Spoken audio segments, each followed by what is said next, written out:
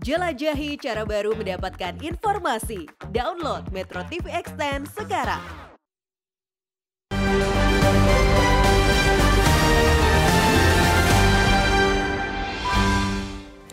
Selamat pagi pemirsa. Kabar kurang sedap menjadi oleh-oleh Menteri Keuangan Sri Mulyani Indrawati usai menghadiri pertemuan Menteri Keuangan dan Gubernur Bank Sentral negara-negara G20 di Gujarat, India pekan lalu. Pada pertemuan itu, negara-negara anggota G20 sepakat kondisi ekonomi global belum kembali ke kondisi normal. Alih-alih bangkit, ekonomi global malah melemah. Kondisi ini menjadi lampu kuning bagi pemerintah Indonesia untuk mewaspadai efek domino dari pelemahan ekonomi global. Dan pemirsa inilah editorial Media Indonesia edisi hari ini Kamis 27 Juli 2023 dengan tema menahan efek domino pelemahan global bersama saya Leonard Samosir.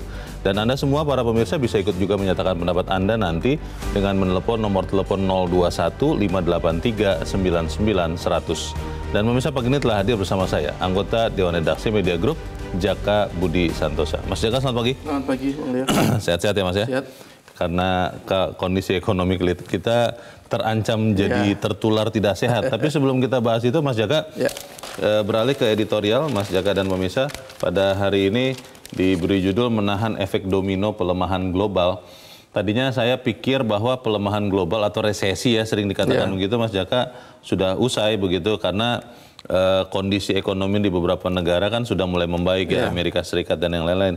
Tapi pertanyaannya ini apakah kali ini benar-benar uh, bahaya juga bisa menular ke Indonesia atau seperti apa sebetulnya? Ya saya pikir peringatan yang disampaikan oleh Bu Sri Mulyani tidak bisa kita anggap remeh ya hmm. bahwa pelemahan ekonomi itu masih akan kemungkinan masih akan terjadi dan sebenarnya tidak hanya dari satu sisi aja beberapa sumber sebelumnya juga mengatakan bahwa ekonomi global akan gelap misalnya. Hmm. Salah satu adalah yang yang yang dilakukan oleh Bloomberg yeah. tahun akhir hmm. tahun lalu. Itu katanya bahkan akan ada 15 negara yang berpotensi untuk apa mengalami resesi hmm. termasuk Indonesia. Hmm meskipun Indonesia itu di peringkat 14 dan dan potensinya itu sangat kecil hanya sekitar tiga persen yeah. jauh dibandingkan Sri Lanka yang sampai 86 persen yeah. yeah. jadi saya pikir uh, meskipun kita sudah teruji hmm. beberapa kali kita mengalami krisis 1998 hmm. 2007 yeah. 2011 juga kemarin soal uh, karena kita dihantam oleh COVID, ya? COVID. Hmm. tapi kita uh, berhasil bertahan, yeah. kita berhasil uh, survive. Jadi uh, berarti kita sebenarnya punya, kemampuan untuk menghadapi krisis, tapi kita tidak hmm. boleh yeah. menyepelekan yeah. setiap apa, yeah. setiap peringatan, setiap warning, setiap apa prediksi-prediksi bahwa krisis akan terjadi dan kita harus bersiap diri sampai sekarang okay. dari sekarang. Baik. Kita harapkan bahwa peringatan ini benar-benar diperhatikan ya. kita semua dan kita akan membahas itu uh, pada pagi ini Mas Jaka dan pemirsa inilah editorial Media Indonesia untuk hari ini Kamis 27 Juli 2023 menahan efek domino pelemahan global.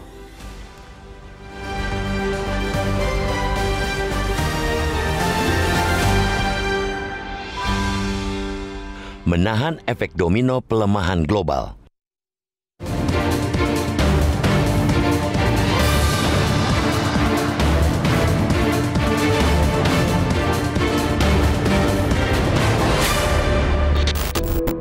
Gambar kurang sedap menjadi oleh-oleh Menteri Keuangan Sri Mulyani usai menghadiri pertemuan Finance Ministers and Central Bank Governors atau FMC BG G20 di Gujarat, India pekan lalu. Pada pertemuan itu, para menteri keuangan dan gubernur bank sentral negara-negara anggota G20 sepakat kondisi ekonomi global belum kembali ke kondisi normal. Alih-alih bangkit, ekonomi global malah melemah Bahkan ekonomi negara maju yang selama ini menjadi lokomotif ekonomi dunia juga sedang loyo. Hal itu terlihat dari data Purchasing Managers Index atau PMI, negara maju yang banyak mengalami kontraksi. Sebut saja Jerman, Inggris, Jepang, Prancis, dan Italia. Begitu pula Afrika Selatan, Brasil, Singapura, dan Malaysia. Negara-negara itu bagian dari 61,9 persen negara-negara di dunia yang mengalami kontraksi PMI. Ada pula negara-negara yang manufakturnya mengalami ekspansi, namun lajunya sudah melambat. Jumlahnya sekitar 23,8 persen antara lain Tiongkok, Thailand, Filipina, India, dan Rusia. Kita boleh berbangga diri karena Indonesia bukan bagian dari 61,9 persen itu. Dalam survei PMI, manufaktur Indonesia masih masuk ke 14,3 persen negara-negara di dunia yang mengalami ekspansi, bahkan terus terakselerasi. Namun, tetap perlu diwaspadai para raksasa manufaktur yang tengah goyah itu adalah negara-negara yang selama ini memiliki pengaruh besar pada perdagangan dunia. Mau sedikit atau banyak, situasi mereka tetap menentukan kinerja perekonomian global. Pemerintah mesti mewaspadai efek domino dari pelemahan ekonomi global tersebut. Jika mau jujur, efek itu sebenarnya sudah mulai terasa sejak akhir tahun lalu, saat tren surplus neraca perdagangan mulai menurun. Hingga Juni 2023, Indonesia memang berhasil mempertahankan surplusnya neraca dagang selama 38 bulan berturut-turut. Namun saat harga-harga komoditas utama mulai menuju titik normal pada paruh kedua 2022, nilai surplus terus turun hingga kini. Per Juni 2023, ekspor kita turun 21,2 persen dibandingkan periode yang sama tahun lalu menjadi 20,61 miliar US dollar. Impor juga turun 18,3 persen menjadi 17,15 miliar US dollar. Hal itu tak lepas dari situasi ekonomi dunia yang melemah, permintaan atas barang ekspor yang menurun, termasuk harga komoditas yang mulai turun. Pekan lalu, Asian Development Bank atau ADB telah mengingatkan pertumbuhan ekspor Indonesia diperkirakan melambat pada tahun ini. Rendahnya permintaan global diperkirakan akan terus berlanjut hingga akhir tahun. ADB juga memperkirakan pertumbuhan ekonomi Indonesia pada tahun ini mentok di 4,8 persen, turun dibandingkan tahun lalu sebesar 5,31 persen. Normalisasi kegiatan masyarakat lewat pencabutan status dari pandemi menjadi endemi COVID-19 juga tak banyak mendongkrak permintaan domestik. Dalam laporan ADB pula, pertumbuhan ekonomi Asia Tenggara diperkirakan melambat ke 4,6 persen pada tahun ini dan 4,9 persen tahun depan. Pemerintah tentunya harus mencari formula jitu untuk menghadapi suramnya situasi saat ini.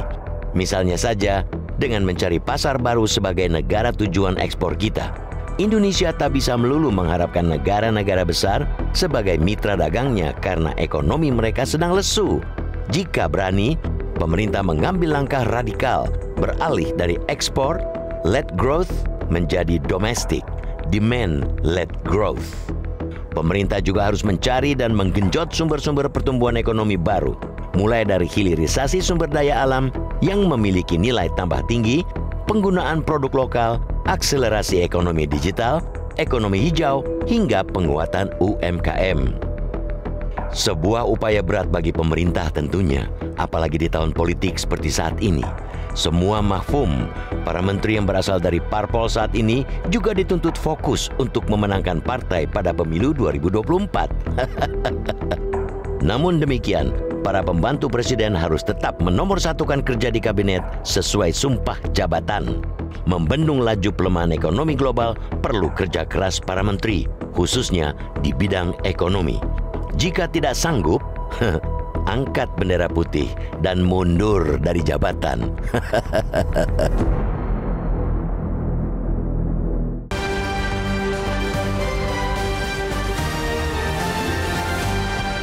Di bagian berikut Anda bisa ikut menyatakan pendapat Anda terkait editorial pagi ini pemirsa. Untuk saat ini tetaplah bersama kami.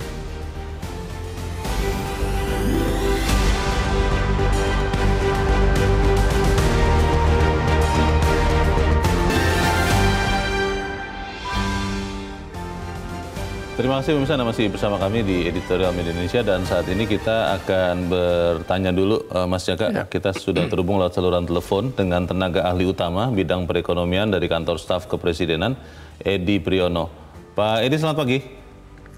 Selamat pagi. Ya, Pak Edi, ini peringatan uh, terakhir dari Menteri Keuangan Sri Mulyani dari uh, pertemuan G20 di India bahwa ada ancaman ekonomi global uh, melambat signifikan dan ini kalau tidak hati-hati uh, juga bisa menular ke Indonesia. Pendapat Anda seperti apa, Pak? Ya itu kan sebenarnya bagian dari satu hal yang sudah berkali-kali disampaikan oleh Bapak Presiden ya, bahwa dunia ini penuh ketidakpastian gitu. Jadi sulit sekali diprediksi dan sekarang ada yang prediksi bahwa itu akan turun. Ya itu bagian dari dari apa yang sering disampaikan oleh Bapak Presiden dalam berbagai kesempatan. Nah kalau kita sendiri sebenarnya pasti terdampak lah. Kalau kalau terdampak atau tidak pasti terdampak karena ekspor kita kan eh, terganggu pasti ya karena permintaan dunia itu turun Yeah. ya. Tetapi sebenarnya kita punya sesuatu yang eh, selama ini sering dianggap sebagai masalah, tetapi sekarang kita sadari bahwa itu juga mengandung berkah juga, yaitu PDB kita, pertumbuhan kita itu lebih banyak karena konsumsi rumah tangga ya, konsumsi dalam negeri ya. Nah, sehingga dampak dari perdagangan internasional tentu saja berdampak dan tentu kita tidak inginkan ya. Tetapi eh, kita eh, yakin bahwa eh, dengan mengandalkan konsumsi rumah tangga di dalam negeri dan juga reorientasi produk-produk kita itu kita akan bisa mengatasi. Contohnya produk turunan sawit lah kan. Sebenarnya kan ini bukan karena tadinya bukan karena eh, penurunan pertumbuhan global, tetapi Yeah. karena ancaman boykot dari Uni Eropa kan. Dan mereka punya undang-undang anti deforestasi sehingga mereka mengancam produk-produk turunan sawit tidak boleh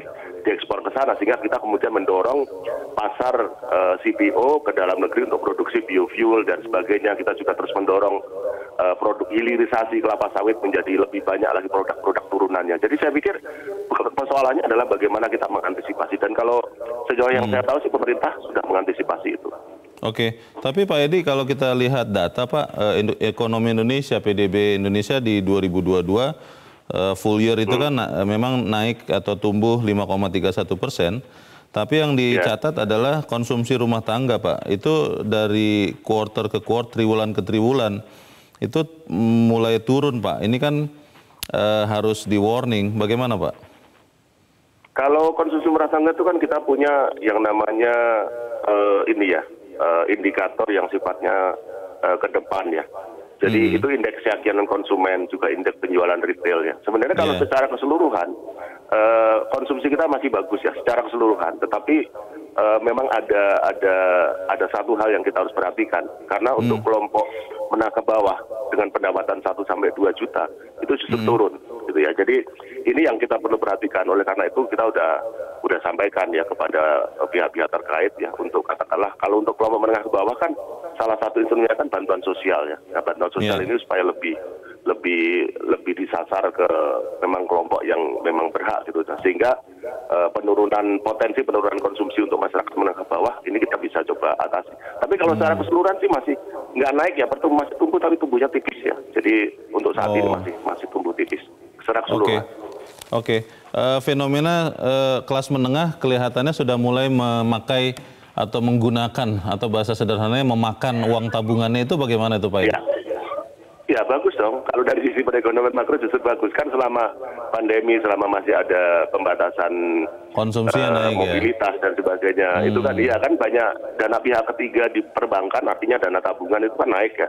Nah sekarang Oke. waktunya mereka spend itu kan bisa kelihatan kok tempat-tempat wisata kemudian Iya. eh, di bisnis-bisnis restoran kita lihat di Hmm. di mall-mall di berbagai tempat gitu ya itu kan Baik, sudah ramai sekali jadi itu itu kalau dari sisi makro sesuatu yang bagus ya orang yang Oke. punya uang banyak memang harus didorong untuk belanja Jadi tidak perlu khawatir ya untuk tahun depan misalnya gitu Pak Edi eh, 2024 bahwa ekonomi Indonesia bisa seperti waktu kita COVID itu tidak sampai seperti itu ya menurut perkiraan enggak pemerintah. lah kalau kalau sem- seperti covid enggak lah kita tetap optimistik tapi tetap harus waspada ya oke Hmm. Jadi akan waspada, tetap oke, positif tapi- Pak tahun depan Pak pertumbuhan Pak. Kalau kami sih yakin tahun depan masih positif masalah besarnya berapa nanti kita tunggu Oke, kita eh, tunggu nanti seperti apa perkembangannya. Tapi untuk saat ini terima kasih eh, kepala, maksud saya tenaga ahli utama bidang perekonomian kantor staf kepresidenan Edi Priyono sudah mencerahkan kami. Selamat pagi Pak Edi. selamat pagi Mas Jaka sedikit saja. Kalau melihat eh, optimisme pemerintah yang tadi dikatakan oleh Pak Edi, ini apakah memang situasi benar-benar aman atau seperti apa? Ya, saya pikir apa yang disampaikan Bu Sri itu kan tidak tidak sembarangan ya bahwa mereka mengutip dari pertemuan apa menteri-menteri keuangan dan gubernur bank sentral di di Gujarat. Jadi ketika uh, dari luar itu ada semacam warning bahwa apa pelemahan perekonomian itu masih akan terus menghantui, ya kita harus menggunakan itu sebagai pijakan bahwa kita tidak bisa main-main, hmm. bahwa kita harus memberikan apa, memastikan bahwa ada antisipasi sehingga apa yang dikhawatirkan itu tidak akan terjadi. Yeah. Kalau tadi Pak uh, Pak Eti dibilang katanya kita masih beruntung karena tingkat konsumsi juga masih tinggi, kita punya sumber daya alam dan itu kan salah satu dari apa dari beberapa faktor kenapa kita selama ini bisa, bisa apa menghadapi sebuah krisis. Hmm. Kita juga masih bisa diuntungkan dengan uh, posisi geoekonomi karena kita posisi kita di uh, wilayah kita strategis. Yeah. Kita juga diuntungkan dengan geopolitik karena kita tidak punya satupun negara yang permusuhan dengan hmm. kita secara politik. Hmm. Kita juga diuntungkan dengan uh, apa formasi atau komposisi penduduk okay. di mana 65% itu adalah usia produktif. Yeah. Yeah. Kita juga masih punya sumber daya alam. Yeah. Tetapi kan kita tidak bisa hmm. menjadikan hanya itu, hanya keuntungan-keuntungan itu untuk kita uh, eksis dalam menghadapi setiap krisis. Baik. Harus ada terobosan-terobosan, harus ada langkah-langkah yang lebih maju sehingga okay. uh, ada ada semacam apa bantalan sehingga yeah. ketika faktor-faktor itu tidak lagi menguntungkan kita punya okay. uh, faktor yang lain untuk bisa kita jadikan sandaran. Baik. Kita harus is, ya. uh, jeda dahulu, uh, Mas Jaka, dan kita ya. akan lanjutkan. Pemirsa tetaplah bersama kami. Editorial Media Indonesia kembali selesai headline pukul 7 waktu Indonesia Barat.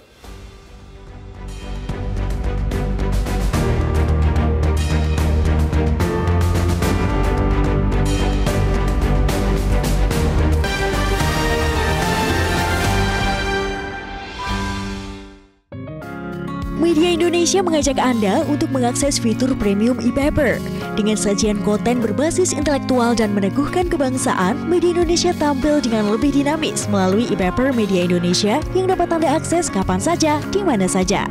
Caranya mudah, download aplikasi Media Indonesia di Android atau ketik link epaper.mediaindonesia.com atau bisa scan QR code pada layar kaca Anda.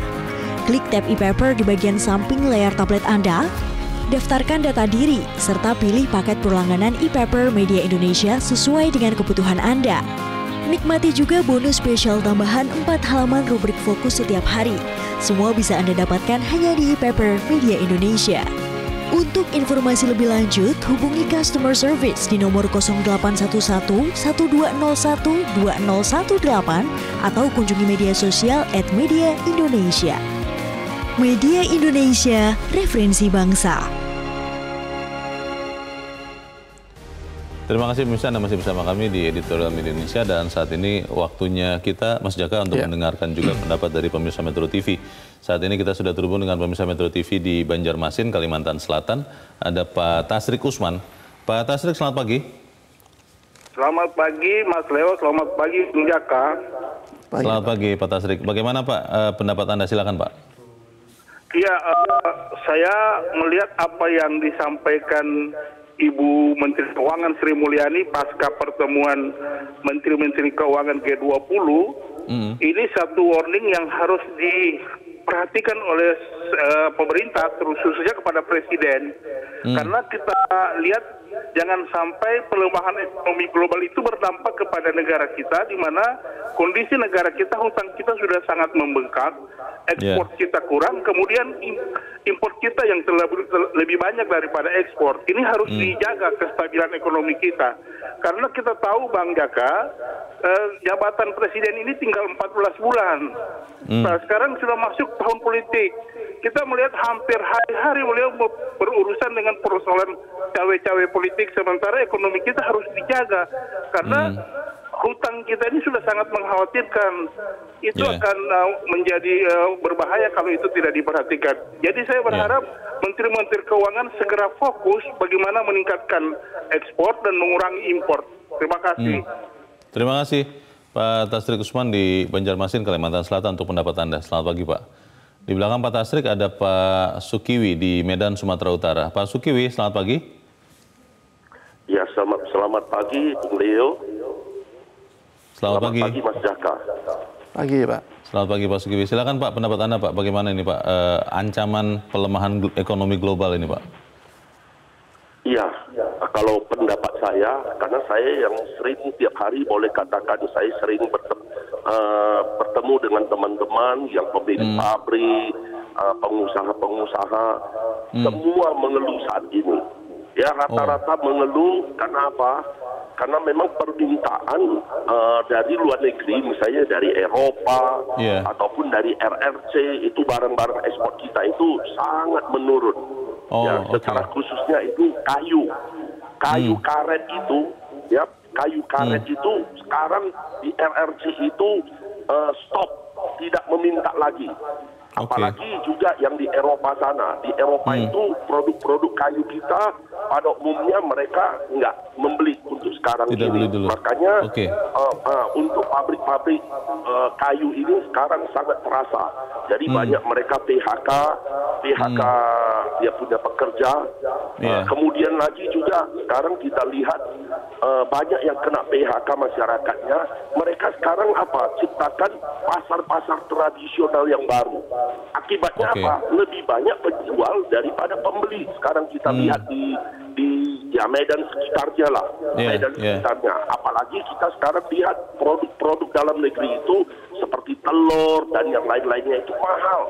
Jadi Hmm. daya beli masyarakat sekarang sangat rendah. Ya, Hmm. karena apa? Penghasilan mereka tidak ada. Ya, ah, apalagi barang-barang mahal sehingga Yeah. mereka itu sangat terasa Yeah. sekali. Kita lihat sekarang pengemis sangat ah, gelandangan pengemis itu wah Mulai sangat banyak banyak. ya? Sekarang kita Hmm. duduk di mana makan aja berdatangan peminta-peminta itu.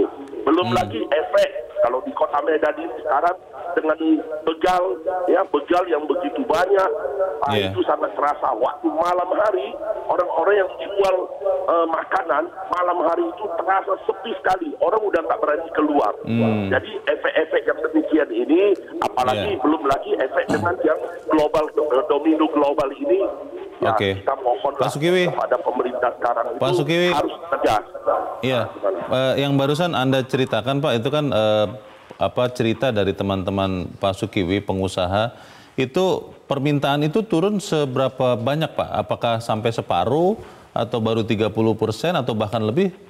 Ada gambarannya tidak Pak Sukiwi? Pak, udah lebih dari separuh Lebih dari separuh permintaan itu Apalagi turun ada, dari dari ada luar negeri. sama sekali, ada yang sama sekali tidak ada tidak ada permintaan lagi, tidak ada ekspor, Oh. ekspor sudah berhenti. Oke, oke. Ah, Ini jadi keli- kelihatannya betul-betul. Oke, Pak Sukiwi itu kelihatannya fenomena sesaat atau mungkin bisa berlanjut katakanlah hingga akhir tahun kalau menurut teman-teman Anda yang pengusaha itu Pak Sukiwi. Panjang Pak. Karena apa? Masalah Oh. sekarang perang perang Ukraina dengan Soviet ini juga sangat pengaruh. Belum Hmm. lagi kita kalah saing dengan Vietnam dan RRC. Produk Oke. Vietnam dan RRC itu jauh lebih murah. Mereka Iya. Mau membeli barang-barang produk kita. Dan sekarang Iya. boleh datang ke Medan, banyak ruko yang mau dijual, banyak juga pabrik-pabrik yang mau dijual. Mereka banyak yang pinjam bank, udah nggak sanggup bayar bank. Inilah Hmm. Baik. akibatnya. Kalau nggak Baik. pemerintah cepat, ini bahaya, sangat bahaya. Oke. Terima kasih. Oke. Baik, terima kasih Pak Sukiwi di Medan Sumatera Utara untuk pendapat dan juga eh, testimoni ini Mas Jaka ya, Iya. dari lapangan di Medan Sumatera Utara. Selamat pagi Pak Sukiwi. Kalau memang ini kan bisa jadi fenomena sesaat, Iya. bisa juga permanen atau seperti yang diceritakan Pak Sukiwi, mungkin ada sebagian pengusaha mengalami tapi ada juga yang tidak mengalami. Iya. Untuk mendapat gambaran yang real supaya kemudian kita tidak optimistis berlebihan tapi juga tidak ketakutan berlebihan paranoid itu bagaimana ya Mas Eka? Ya kalau kita lihat data yang kita sampaikan di editorial yaitu kan per Juni 2023 kan ekspor kita itu turun 21,2 persen. Seperlima ya. Ya dibandingkan periode yang sama tahun lalu. Jadi sekitar menjadi 20,61 miliar US dollar. Iya. Ini merupakan fakta yang yang tidak bisa kita bantah dan itu eh, mengkonfirmasi tadi apa yang disampaikan oleh Pak Sukiwi Iya. bahwa memang kita itu semakin semakin kesulitan untuk menjual barang-barang kita ke luar negeri. Ya salah satunya apa ya karena pelemahan ekonomi global. Iya. Tidak mungkin negara-negara di yang selama ini menjadi tujuan ekspor kita ketika mereka sibuk untuk apa untuk berjuang mengentaskan Iya. diri dari krisis atau mempertahankan dari ekonominya, ya mereka eh, mengerem dulu lah pasti Iya. untuk mendatangkan barang-barang dari nu- dari luar termasuk dari, Dari negara Indonesia. kita. Iya. Jadi ini fakta yang saya pikir tidak bisa apa dikesampingkan begitu saja oleh pemerintah. Iya. Betul bahwa kita tidak boleh eh, punya ketakutan yang berlebihan, tapi kita juga jangan percaya diri terlalu berlebihan juga. Iya. Karena negara kita itu kan masih masih sangat sangat apa ya masih sangat gampang terpengaruh oleh situasi di luar negeri. Betul. Ketika luar negeri itu mengalami apa guncangan, kita Iya. juga akan terkena guncangannya. Iya. Persoalannya apakah kita akan selalu hanya berharap pada uh,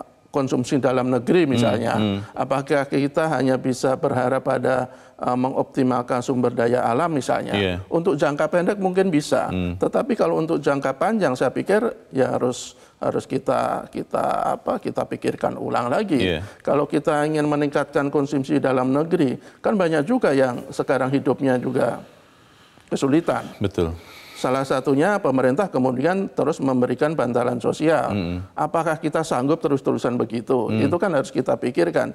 Jadi saya pikir apa yang disampaikan Bu Sri Mulyani, apa yang disampaikan oleh hasil survei Bloomberg misalnya, kemudian tadi juga dipertegas oleh uh, para penelpon ya Iya. tidak boleh kita anggap remeh. Tadi Pak Sukiwi menggarisbawahi soal kita ini masuk di tahun politik, Mas Jaka. Iya.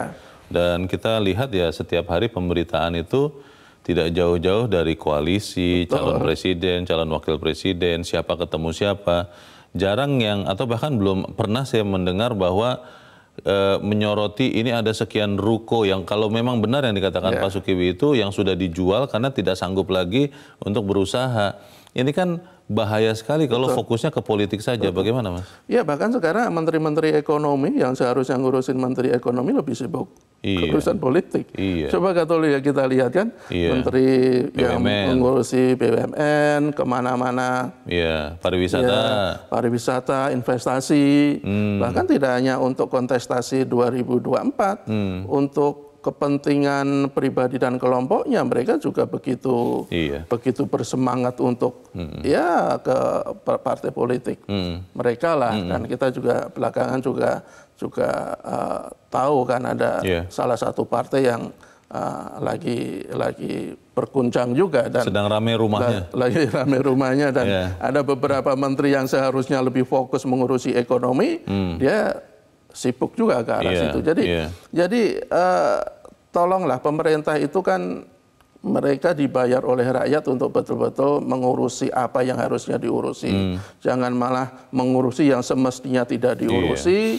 Iya. Dan ya kita kabarkan kalau tadi ada dari Pak Sukiwi misalnya, eh, Pak Tasrik juga misalnya itu Hmm. mengatakan bahwa ya kita itu belum terlalu baik kehidupan kita Hmm. itu harus betul-betul diperhatikan oleh pemerintah. Hmm. Ya. Masalahnya persepsi itu kan eh, dibangun juga ya, Mas Jaga. Ya. Kalau saya asumsikan bahwa apa yang tadi dikatakan eh, tenaga ahli utama KSP Kantor Staf Presiden Pak Edi Priyono sebagai gambaran umum dari pemerintah bahwa sangat optimis melihat eh, pertumbuhan ekonomi ini, melihat kegiatan ini dan kelihatannya sama sekali tidak mewaspadai dengan seksama. Ini kan bisa juga bahaya ya, bisa menina bobokkan kita semua. betul. Kemudian ketika krisis global ini benar terjadi dan masuk ke Indonesia, nanti seperti waktu kita menghadapi COVID tempo hari itu, Mas Jaka, kita Iya. sempat mengatakan kita kuat, kita kebal, kita minum jamu, kita tidak kena. Begitu masuk, begitu banyak yang mati dari antara Iya. kita. Bagaimana mencegah hal itu? Iya, saya pikir eh, kalau menurut saya lebih baik kita kita paparkan saja apa adanya ya. Jangan terlalu ditutup-tutupi ketika ada faktanya, ada ancaman apa krisis global yang bisa berdampak ke kita ya sampaikan saja ke pemerintah ke ke ke, ke Masyarakat ya. masyarakat bahwa situasi situasinya begini tetapi kita sudah melakukan sejumlah antisipasi seperti ini. Saya pikir itu lebih fair daripada kita eh, apa seolah-olah tidak akan terjadi apa-apa. Seolah-olah bahwa pemerintah itu betul-betul sudah siap untuk menghadapi situasi terburuk apa pun. Iya. Kalau kita belajar dari pengalaman tadi Bung Leo sampaikan ketika kita menghadapi COVID waktu itu bagaimana awal-awal ya. antar menteri malah menjadikan COVID itu barang candaan. Iya. Faktanya ketika masuk ke negara kita kita kelimpungan, pemerintah babak belur tidak bisa melakukan apa-apa. Ribuan rakyat kita meninggal kan tentu tidak tidak kita inginkan hal seperti itu terjadi Iya. lagi. Iya. Jadi pemerintah betul tidak tidak tidak ingin menakut-nakuti pemerintah, tetapi jangan Hmm. menina- men- menakuti masyarakat, tetapi jangan juga membuat kita eh, Terlena ape ya. dengan antisipasi yang harus kita lakukan. Persisnya apa ya yang perlu kita lakukan? Apakah misalnya kemudian kan begini Mas, tadi Pak Edi bilang kalau konsumsi itu justru bagus karena itu artinya mendorong ekonomi benar sih. Tapi kan ketika uang yang dipakai untuk belanja itu tidak ada lagi isi ulangnya, Betul. artinya tidak ada kegiatan ekonomi produktif. Pada waktunya kan uang akan habis, Habis, ya. belanjanya selesai. Nah, bagaimana supaya kemudian kita bersikap dengan seksama? Karena kalau kemudian kita ketakutan, akhirnya semua tidak belanja, ya ekonomi benar-benar melambat betul. Ya. Bagaimana, Mas? Ya saya pikir pemerintah sebenarnya sudah melakukan langkah-langkah antisipasi ya dan itu harus kita kita lihat secara positif juga. Oke. Ada mungkin soal hilirisasi ketika uh, barang tambang kita tidak uh, Iya. bisa kita obral lagi di luar negeri tapi dengan nilai tambah dan Iya. tadi Pak Edi juga katakan Iya. dijual di dalam negeri itu bagus tetapi uh, itu kan sebenarnya butuh waktu yang uh, untuk panjang kalau Betul. kita untuk mendapatkan benefit seperti itu. Oke. Jadi yang yang paling penting adalah bagaimana kita pemerintah itu betul-betul meyakinkan ke masyarakat, Iya. begitu betul-betul membantu masyarakat agar mereka bisa bertahan, Oke. agar mereka tidak terus-menerus uangnya habis ya. Kalau uangnya habis Iya. tingkat konsumsinya tadi nggak ada lagi. Pertanyaan besarnya adalah bagaimana eh, orang-orang yang harusnya fokus, Ya. Pemerintah harus fokus, tapi fokusnya ke hal yang lain. Betul. Paling persis adalah 14 Februari 2024. Kita bahas di bagian berikut. Pemirsa tetap bersama kami, Editorial Media Indonesia segera kembali.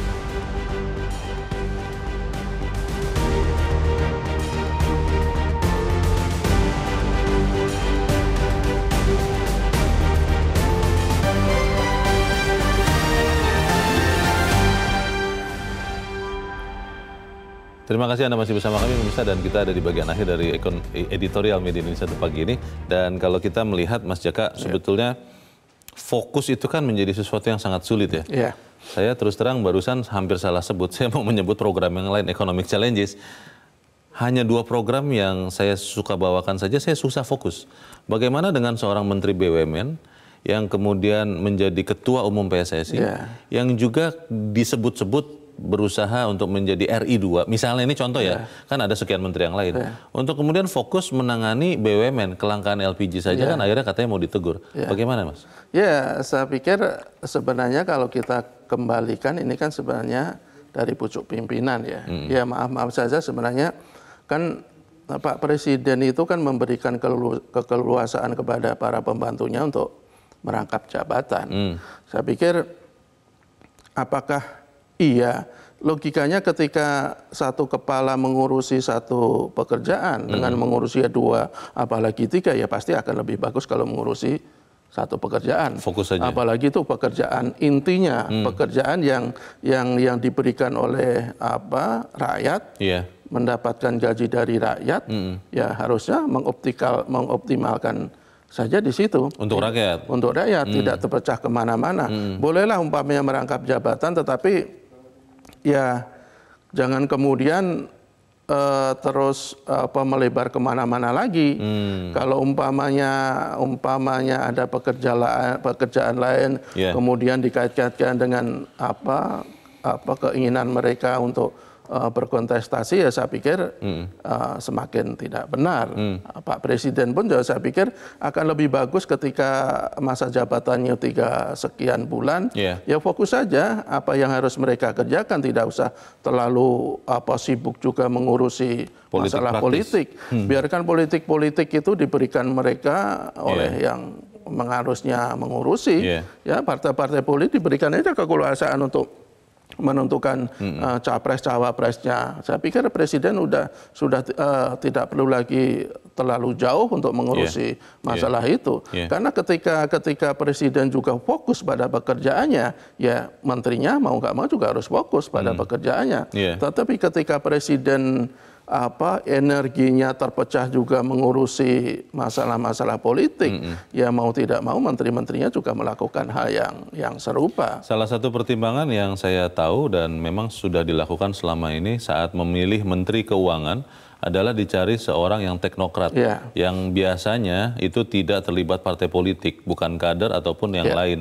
Dan kalau kita lihat seorang Sri Mulyani, itulah mungkin berkah untuk bangsa kita Ya. ini bisa fokus di pekerjaannya. Tapi kalau warning atau peringatan awal yang disampaikan Menteri Keuangan ini dianggap ah, itu kita aman kok, tidak dianggap dengan serius, Ya. dengan fokus. Ini bagaimana nasib ekonomi bangsa kita ini, Mas? Ya, lagi-lagi nanti kalau ke- eh, terjadi apa-apa kan yang rakyat yang jadi korban. Jadi jadi eh, semestinya tidak perlu lagi tidak perlu menunggu kejadian yang tidak kita inginkan itu terjadi. Ya. Yang pasti yang harus dilakukan adalah mencegah agar kejadian itu tidak menimpa kita. Ya salah satunya adalah fokus. Dulu ketika periode pertama saya sangat sangat sangat eh, senang ya ketika Pak Jokowi itu dengan tegas bahkan untuk untuk untuk merangkap jabatan di partai politik pun Iya. itu kan tidak boleh waktu itu menteri-menterinya. Menteri harus memilih waktu Waktu itu itu ya? harus menilai dan dan itu seharusnya yang dilakukan karena ketika ketika menteri itu di, diangkat sebagai pejabat negara ya se- segala yang dia miliki ya harusnya diberikan kepada negara Iya. tidak boleh ke ke partai-partai politik tidak ada urus. tetapi kan belakangan itu kan eh, ketentuan ketegasan itu kan diperlonggar Iya. bahkan eh, boleh eh, merangkap sebagai ketua umum partai politik pengurus teras partai politik bahkan ya mengurus apa organisasi-organisasi lain yang yang Iya. justru ya pasti memecah memecah konsentrasi, dan lah sebetulnya tidak terlalu relevan dengan tidak terlalu tugas pokoknya relevan. sebagai Iya, menteri. dan bahkan organisasi-organisasi itu kan ditengarai atau di- diduga sebagai kendaraan politik juga. itu kan yang Oke. yang yang tidak bisa kita biarkan dan Baik. sekali lagi apa yang dilakukan oleh Bu Sri Mulyani memberikan peringatan bahwa kita tidak boleh tenang-tenang saja Oke. itu tidak boleh kita anggap sepele sih saya pikir. Baik, kita harap kita bisa benar-benar waspada supaya tidak tertular efek pelemahan ekonomi global. Mas Jaka, terima kasih Ya. Sama-sama, sudah hadir di tempat ini. Selamat pagi, Mas. Selamat pagi. Pemirsa pemerintah harus mencari dan menggenjot sumber-sumber pertumbuhan ekonomi baru, mulai dari hilirisasi sumber daya alam yang memiliki nilai tambah tinggi, penggunaan produk lokal, percepatan ekonomi digital, ekonomi hijau, hingga penguatan usaha mikro, kecil, dan menengah. Di tengah tahun politik, para pembantu presiden harus tetap menomorsatukan kerja di kabinet karena itulah isi sumpah jabatannya. Membendung laju pelemahan ekonomi global perlu kerja keras para menteri, khususnya menteri bidang ekonomi. Jika tidak sanggup, angkat bendera putih dan mundur dari jabatan. Saya Leon Samusi berterima kasih Anda sudah menyimak editorial Media Indonesia itu pagi ini. Terus jaga kesehatan Anda, terus jaga nurani Anda. Selamat pagi, sampai jumpa.